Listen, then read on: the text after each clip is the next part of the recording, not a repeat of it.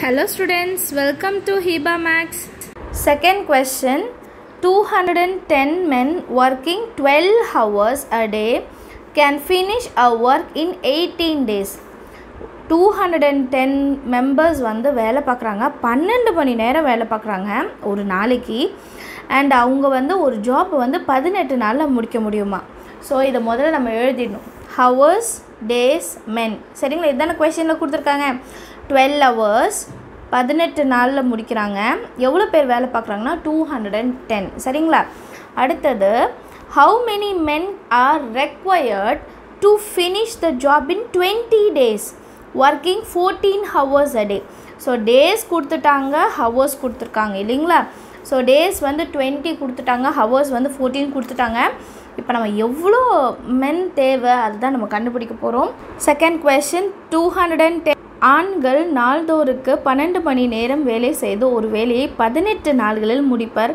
அதே வேலையை நாளொன்றுக்கு பதினான்கு மணி நேரம் வேலை செய்து இருபது நாள்களில் முடிக்க எத்தனை ஆண்கள் தேவை அப்படின்னு சொல்லி கேட்குறாங்க ஸோ நம்ம ஆல்ரெடி டேட்டாஸ் எடுத்து எழுதிட்டோம். அண்ட் மென் வந்து நம்ம கண்டுபிடிக்கிறத எக்ஸ்ன்னு எடுத்துக்கலாம்.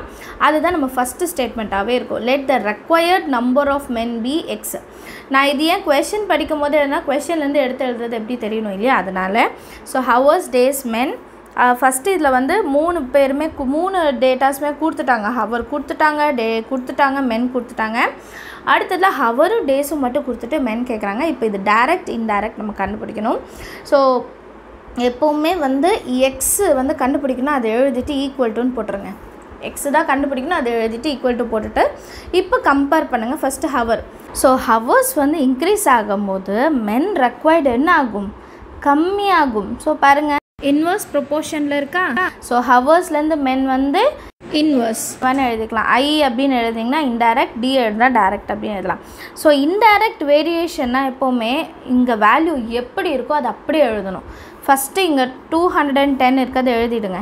எது கண்டுபிடிக்கிறோமோ அதுக்கு மேலே இருக்க வேல்யூ முதல்ல எழுதிட்டு நான் ஈஸியான மெத்தட் சொல்லித்தரேன். டைம் வேஸ்ட்டே ஆகாது.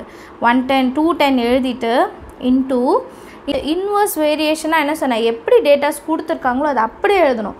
டுவெல் பை ஃபோர்டீன் அடுத்தது டேஸ் ஸோ டேஸ் கணக்கு பார்த்தோன்னா டேஸ் ஜாஸ்தியானால் மென் ரெக்வயர்டும் என்ன ஆயிடுது? கம்மி தானே? நிறைய நாள் வேலை பார்க்கலாம். அப்போ கம்மியான ஆட்களை வேலைக்கு வச்சாலே போதும். ஸோ இதுவும் பாருங்கள் ஒன்று மேலே இருக்கு ஒன்று கீழே இருக்கு. அப்போ இன்வர்ஸ் ரெண்டுமே வேறு. இது ஜாஸ்தியாச்சுன்னா இது இன்க்ரீஸ் ஆகுனா அது என்ன சொல்லணும்? இன்வர்ஸ்னு சொல்லணும். ஸோ இன்வர்ஸ்னால் என்ன சொன்னேன்? அவன் எப்படி நம்மளுக்கு டேட்டாஸ் இருக்கும் எயிட்டீன் இருக்குன்னா எயிட்டீன் கீழே டுவெண்ட்டி இருக்குன்னா டுவெண்ட்டி அது அப்படியே எழுதிடணும். சரிங்களா? டேரக்ட் நான் அதை தலைகீழ் எழுதுவோம். அது டேரக்ட் வரும்போது நான் சொல்லித்தரேன். இன்வர்ஸ் அப்படின்னா இங்கே எப்படி இருக்குது எயிட்டீன் பை டுவெண்ட்டினா எயிட்டீன் டிவைடட் பை டுவெண்ட்டி அப்படின்னு எழுதினாலே போதும்.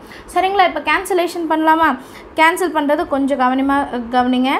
Zero zero first cancel zero zero அடுத்தது செக் பண்ணுங்கள் டுவெண்ட்டி ஒன்னும் ஃபோர்டீனும் செவன் டேபிளில் கேன்சல் ஆகும்.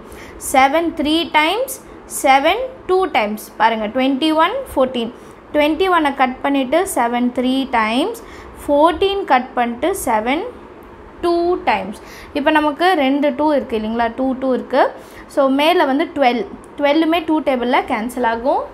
ஸோ ஃபஸ்ட்டு நான் இந்த டூவால் இந்த டுவெல் கேன்சல் பண்ணுறேன் two one time two six times சரிங்களா? Two one time two six time அடுத்து இந்த டூ எடுத்துக்கலாம். டூ டேபிளில் சிக்ஸ் கேன்சல் ஆகும் இல்லையா?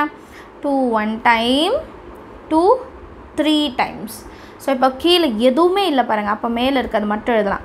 Three into three into eighteen so three த்ரீஸா நைனா அப்போ எயிட்டீன் இன்ட்டு நைன் செஞ்சாலே போதும். Eight நைன்ஸா seventy two two balance seven nine ஒன்ஸா nine ten eleven twelve thirteen fourteen fifteen sixteen இல்லைங்களா? So one sixty two so one sixty two men தான் நமக்கு தேவைப்படுது. இல்லைங்களா? One sixty two men so நீங்கள் ஸ்டேட்மெண்ட்டில் எழுதுனா எழுதிக்கலாம். One sixty two mens are required அப்படின்னு நீங்கள் எழுதலாம். சரிங்களா? நானும் எழுதிடவா? One sixty two men are required அப்படின்னு நம்ம எழுதிட்டாலே போதும். புரியுதா? சம் எல்லாருக்கும் அண்டர்ஸ்டாண்ட் ஆகுது இல்லையா? ஸோ இதை எப்படி எழுதுறோன்றதான் முக்கியம். டைரக்ட் இன்டைரக்ட் கண்டுபிடிக்க தெரியலன்னா அப்புறம் நம்ம எ- எப்படி எழுதினாலும் தப்பாயிடும். ஸோ மேலே ஒரு ஒரு டம் இப்போ ஹவர் இன்க்ரீஸ் ஆகி நம்ம கண்டுபிடிக்கிறது கம்மியாகுது அப்படின்னா அது இன்வர்ஸ் சரிங்களா? அதே மாதிரி டேஸ் இன்க்ரீஸ் ஆகுது மென் கம்மியானாலும் அது என்னது? இன்வர்ஸ் ப்ரொப்போர்ஷன் அப்படின்னு சொல்லணும். சரிங்களா? டைரக்ட் ப்ரொப்போர்ஷன் இன்வர்ஸ் இது ரெண்டு தான் இருக்குது நமக்கு இந்த சம்மில் இன்வர்ஸ் மட்டும்தான் வந்திருக்கு. அடுத்த சம்மில் சால்வ் பண்ணும்போது எப்படி மாறுதுன்னு பார்க்கலாம். தேங்க்யூ ஸோ மச் ஃபார் வாட்சிங்